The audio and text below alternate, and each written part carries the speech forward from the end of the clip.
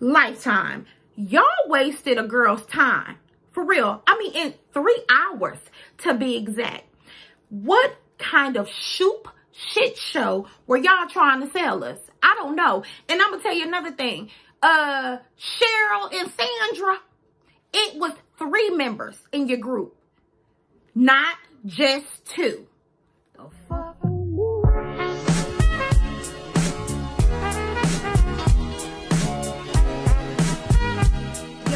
Pissed me off. Like, pissed me off. Okay. We we gonna talk about it. We gonna talk about it. I got a lot, I got a lot of shit to say. Okay. Um, I'm gonna start with this shit has so many high profile producers that it shouldn't have went to shit so fast.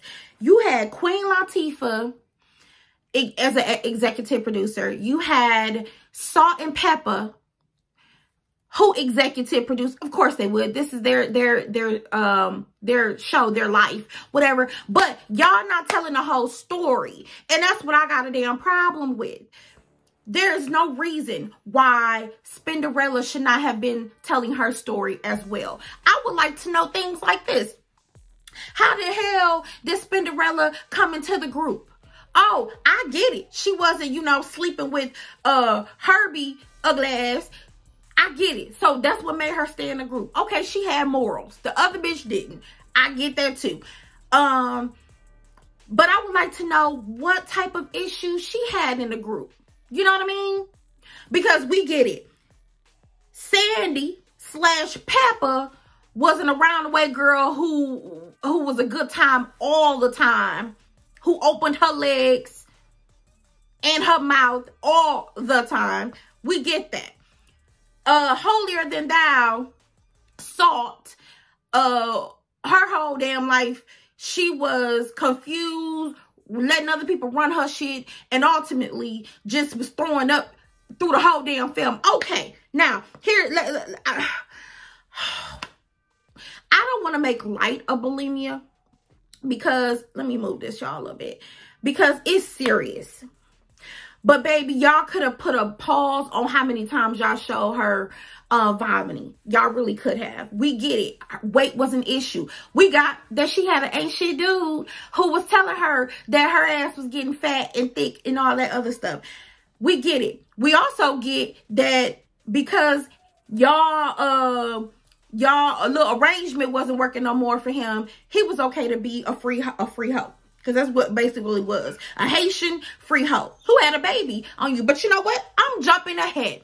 Let's just start with, y'all had Mario Van Peebles as the pastor slash um executive producer as well. Like I said, y'all have too many big names for this to go uh, uh go real Aaliyah. Y'all remember how Lifetime messed up Aaliyah? Y'all went there. And I, I don't appreciate my time being wasted. I just don't. Y'all irritated the hell out of me. First of all, had at least an hour of the movie, they was at Sears. They was working at the call center at Sears. Uh, and Martin Lawrence, the man they play, had playing Martin Lawrence, he's about 50 years old. No lie. He's about 50 years old.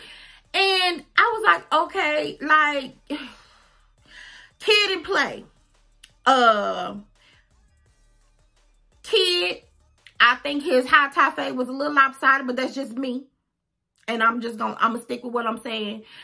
Um, okay. So, here's my issue. Cheryl slash Salt is in love with Herb. Herbie the whole love book. He is ho, ho as ho can be. Ho, ho, ho. She in love with this fool. They got daddy issues. I get it.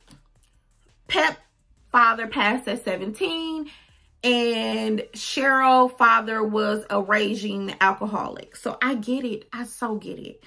But uh so you stay I, I know we stay sometime way too long. But baby, I don't see what the benefit was. He was in the basement with a bed, a full size bed. I don't, uh, and it was a full size sofa pull out type of shit. Like, I don't know what you were staying for, baby. I don't.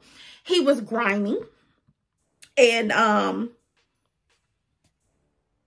he didn't mean you, he didn't mean you no well. He, didn't mean you well at all.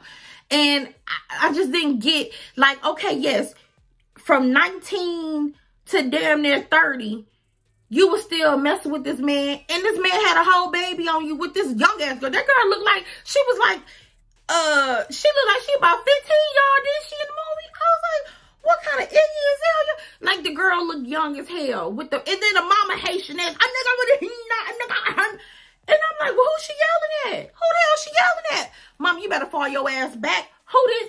Harpo. Who this woman? Who this woman? So, y'all, I'm just going to post all the the imagery of Spinderella and y'all tell me if she don't belong in the group and got a story to tell herself. Salt and pepper didn't mean just a salt shaker with salt and pepper. Y'all got y'all, y'all forgot about Lawry seasoning salt. Y'all forgot about Spinderella, baby. She made the group too. And also, yeah, also, let's not forget that she had verses. She wasn't just scratching and mixing for y'all asses. Spinderella had a voice too. Hello? Was she not? Did she not have lyrics on What a Man? Right, right. She did. She had lyrics on a couple songs. So no, she just wasn't scratching and, and scratching and surviving with y'all. She got a story too. She had a whole um marriage or whatever, or, or, or not a marriage, but a whole relationship um with Kenny Anderson. Y'all remember Kenny Anderson? Kenny Anderson was um Tammy's ex-husband from Basketball Wives. Y'all know Tammy. She married Kenny Kenny Anderson, but before that, Kenny had a baby with Spinderella. Did y'all know that? See, that's some shit that should have been in the film. While y'all trying to tell y'all uh, holier than thou stories. Because so I don't believe you was that naive or that that saved and sanctified and filled with the Holy Ghost Spirit. I don't believe the shit. I don't. Yo, yo, yo twat wasn't. Yo nunu wasn't. It wasn't saving. No, it was not. It was not. Okay. Um let me just get into because they, they really pissed me off when not letting Spinderella tell her story. They really, really pissed me off with that. And I feel like she was a part of the group. If y'all didn't want her part of the group, y'all should have kept her off the album covers. Y'all shouldn't have gave her a, a, a let her write her rhymes because uh, uh, y'all just started writing y'all shit. Apparently, coming to the film, Herb was writing y'all shit. So y'all had a ghostwriter for years. So I, I'm just, I'm just saying. Um, Kirby was shady he was sleeping with the first Spinderella. And because I guess I don't know if the I don't know if the hair wasn't great or you know he she wasn't slobbing and knobbing on the corner on the cob no more. I don't know. But he let her go. He act like he was doing something big by just letting her go in front of Salt and Pepper. I don't care for how he was treating Sandy. I guess because Sandy wasn't I mean not Sandy. I don't like how he was treating um no, that's Sandy. I don't like how he was treating Pep because Pep ain't sleeping with you and she ain't your yes man. You found ways to be nasty, arrogant, and disrespectful. Oh, you're Jamaican? Well, then you should be able to ride over my beat. Well, you're Haitian and you a hoe. You should be able to keep your, your, your, your penis in your pants. I mean, I'm just saying. All right, Melanie, hold up in this mug. I, just saying. No, uh, yeah, I'm shady. I'm shady shit today. I don't care. They wasted my damn time. They did. Um, and another thing. I get y'all don't have security, but her, you ran up in a club trying to chase down a fake salt and pepper who was played by their kids, their daughters. Egypt and um Corinne played the fake salt and pepper. What was your point of going on stage and then running off the stage if you weren't gonna throw hands for real. Y'all explain that to me. He he ran on stage, said y'all ain't watching the real salt and pepper, run off stage, and then get his ass whooped and get he gets salt ass knocked out. So y'all got your ass whooped. And what came of that? And then he says, uh, this is why you don't mix your business with pimps. Horrible ass businessman. Horrible. Horrible. So, and here's the other issue. Salt, I think you're a little shady too because you knew the record deal you guys had, but you didn't initially explain it to Pep. Like, hey, just so you know, we got a record deal. It's whatever, 12 points. Herb getting six. Yeah, that, that fool got six. He got six. We got to share six. So I got to split. You get three and I get three. How you gonna get rich off three off three pennies? It ain't even 50 cents. You got three pennies. You get three, I get three, he gets six because he writing, he ghost writing our rhymes. That's why I was like, what kind of shoot shit? And oh, oh, I ain't even Let's talk about the dollar store wigs. Okay, shall we? We're gonna talk about the dollar store wigs. Um, I need y'all to take that shit back to the Dollar Tree, Party City, wherever Pep with that wet and wavy. I, I think that was Jheri curl mixed with Dominican. I don't know what in the hell. Who was the hairstylist? Y'all couldn't y'all couldn't have gotten Kim Kimble or nobody to help y'all with the hair? Them badass wigs. I said, oh God, no. No. The bad haircuts, the bad wigs, just horrible shit. And you know what? You know what? I'm gonna say it again. Spinderella had the same shit on. Had four lines through the whole movie. Yeah, they sitting on the bus. Uh-huh. Yeah, and we are salt and pepper. She had four lines through the whole movie, and she still was wearing them same badass wigs and haircuts like y'all. And she couldn't have told her story too? She couldn't have told her hard times, her struggles? No, Scratching and surviving. She couldn't tell her scratching and surviving story. Y'all some lames. Y'all lame as hell for that. And y'all talk about women empowerment. Ain't shit empowering about not telling everyone's story. Herbie Lovebug had more. He had more camera time than Spinderella should have. Spinderella should have been able to tell her story. Point blank in the period. And I don't give a shit who don't like what I'm saying. That woman deserved to tell her story because she was in every album cover, every music video. Hell, I'm an 80s baby, okay? I'm an 80s baby, and I remember Push It. I don't remember this shit beforehand, but I remember Push It, and I remember I played that song out, honey. Out. Okay? I played that tape out so bad, I and broke the tape. I got some super glue and super glued that damn tape together and rewound it with my yeah with the yeah. You gotta put your put the pencil in. I rewind yes yes, and it it it skipped a little bit, but it was all right. I was gonna push through that shit, but y'all didn't let me push through this damn movie with y'all stupid ass. Okay, here's a here's some something I did not know. Okay, so y'all know, like I said, Pep was easy on the eyes and with the men. Okay, so what I did not know I, I don't know why I assumed this. I did. I assumed that she had two kids with Treach. I, I did not know that her son Tyran is um his father's name is let me in my notes I wrote Barry Riddick. Um he was his he was known as Ty Tai. So the man that walked in a bar that got her a drink that she was all wet and gooey for, yeah, that was uh his daddy. And she got pregnant so quick i was like okay y'all either y'all making her purposely look like a loosey goosey or did she know that man before a hot minute and she had got pregnant? I don't know.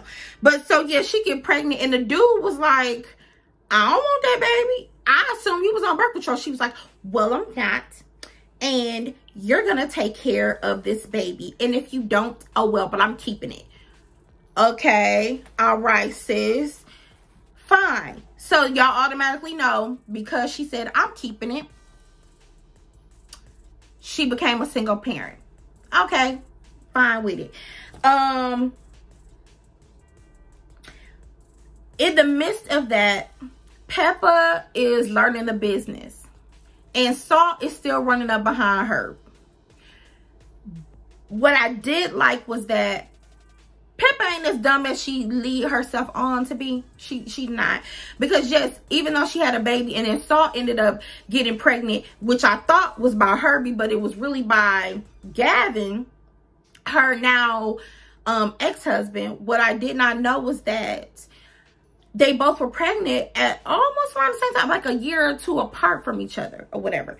But um what I did like was that Pepper started to pay attention to the business and saw once she put Salt on game and you know that little bug was in her ear like girl y'all getting played. Like Herb is getting y'all for everything and he he not up there pushing it. He he ain't up there you know on what a man. He he you know and I was like hmm okay yeah so Saul just act like she was a punk when it comes to her. Like when it came to business, if it wasn't for Pepper pushing her, she she was punk. She was punk to me.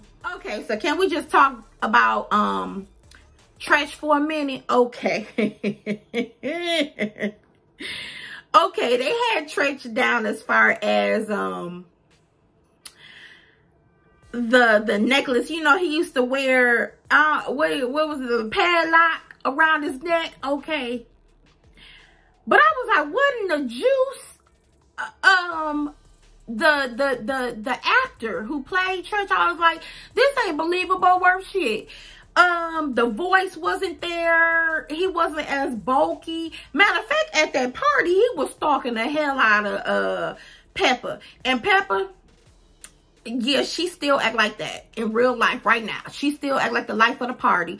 But he was stalking her. Why you going in rooms by yourself? throwing shit. What the hell you throw something else at me and I'ma slap the shit out.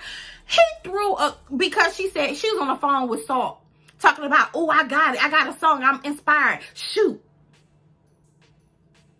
And y'all ain't gonna tell me all these parties Pep was having, all this stuff going on, and Spinderella was in the breeze, in the wind. Y'all not gonna tell me that. Y'all not gonna tell me that that woman was nowhere in the story. You're not gonna tell me that. You're not. Salt. Salt gets, um, they go on Arsenio Hall show. Salt is pregnant. And, um, Arsenio Messias was like, you know, you and Herb, y'all going strong.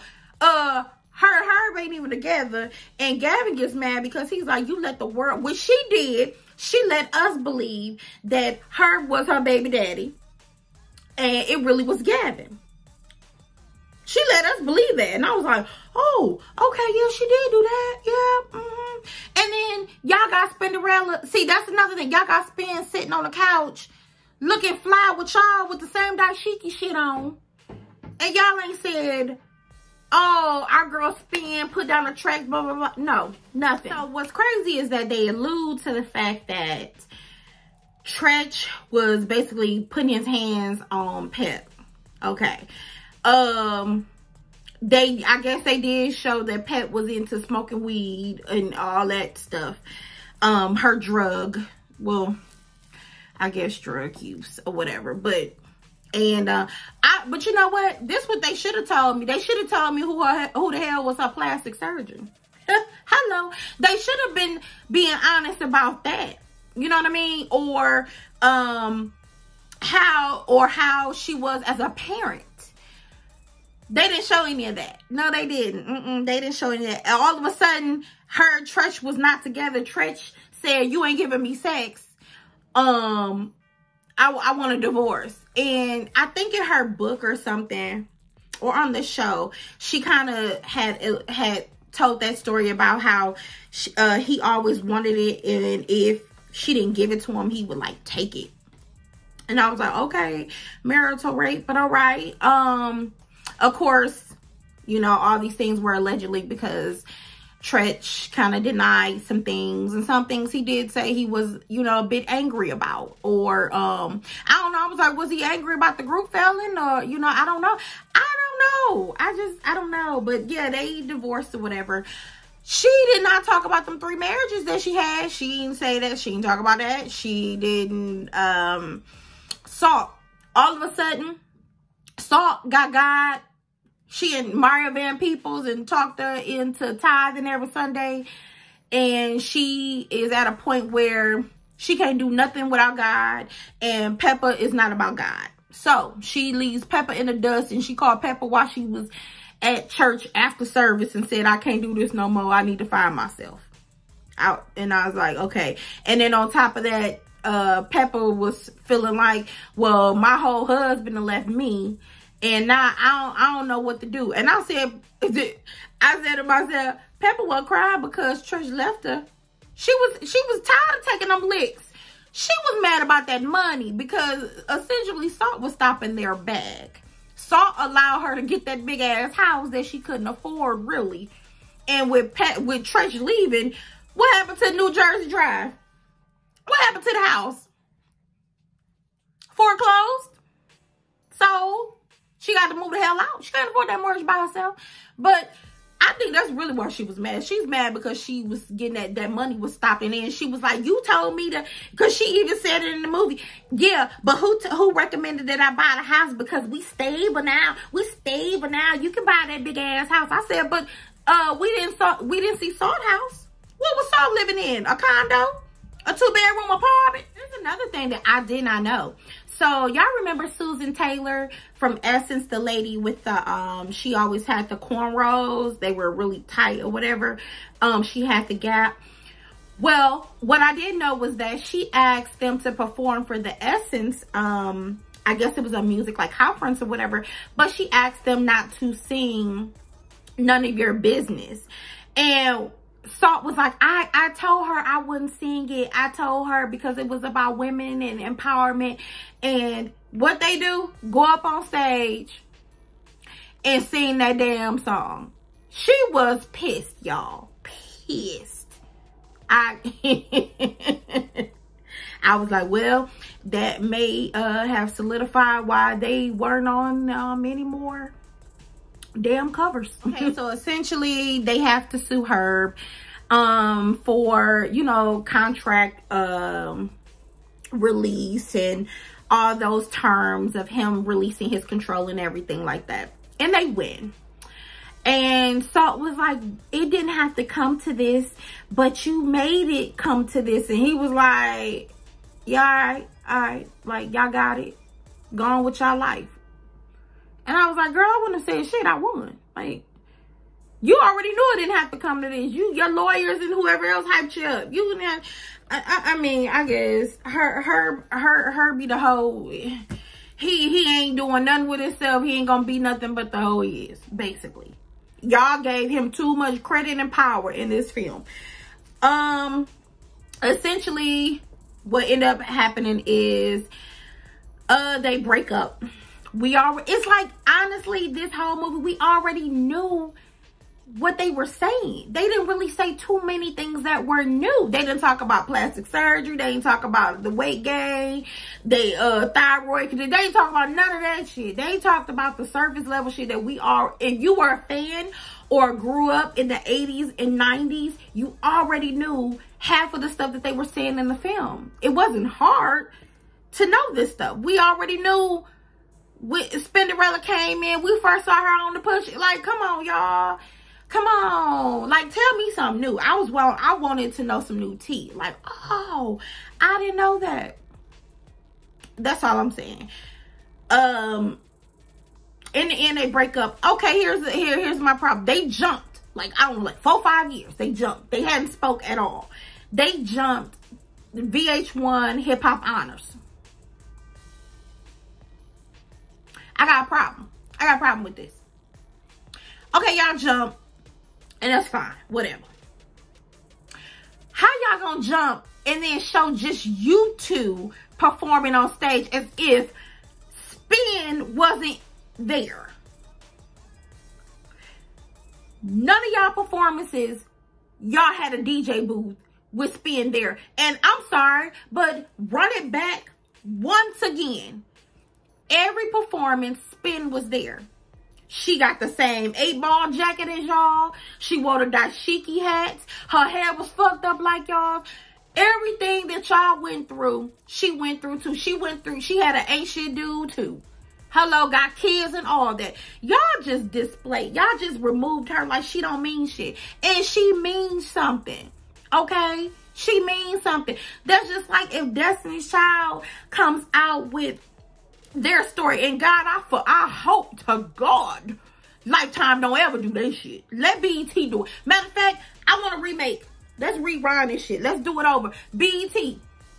I need BET to do y'all story. And I want to know the real story. I, I need I need somebody else to do y'all story because it, it wasn't told well. It wasn't told well. It wasn't unique. It wasn't catching us. And three hours of our time was wasted. And y'all did not, y'all were not fair to spend. And yeah, I get it. Y'all settled y'all little financial um disparities or whatever out of court or, or whatever the case is. Y'all owe her some money. She got her money. But I still feel like an olive branch of your story should have been given to Spin for her to tell.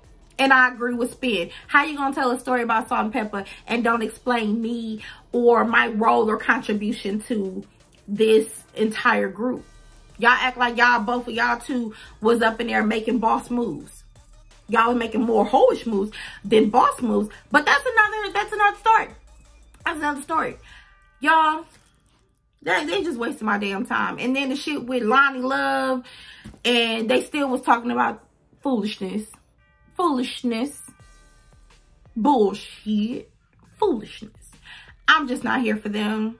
Y'all wasting my time. Lifetime, once again, y'all wasting my, my time. I want to see what y'all do with Wendy Williams. And um, let I'm gonna be, I'm gonna watch, I'm gonna watch Whitney. I'm gonna watch it. Okay, I'm gonna watch it. But y'all, let this be the last documentary on Whitney. Unless Robyn, Robyn Crawford is doing her own special. And it, uh, y'all let this be it. Please. I'm tired. I'm tired of y'all talking about um, Chrissy and Whitney. I am. Okay. Damn, I am. But um, y'all, this is my review recap on this uh shoot shit shit show. I ain't got more. I ain't got nothing else for y'all. Y'all like, comment, share this video. Um, subscribe if you're new to my channel or have never seen me. I would love for you to subscribe. And um, yeah. Yeah, see shit else to say, y'all. But um, put it in the comment section. What did you take from the movie? Do you feel like I was wrong in certain areas? Do you feel like Spinderella should not have been excommunicated and um whatnot? What do you guys think? Put it in the comment section. Until next time, I'll see you guys later. And um, I just want to say, why y'all didn't sing What a Man? Because that was my shit.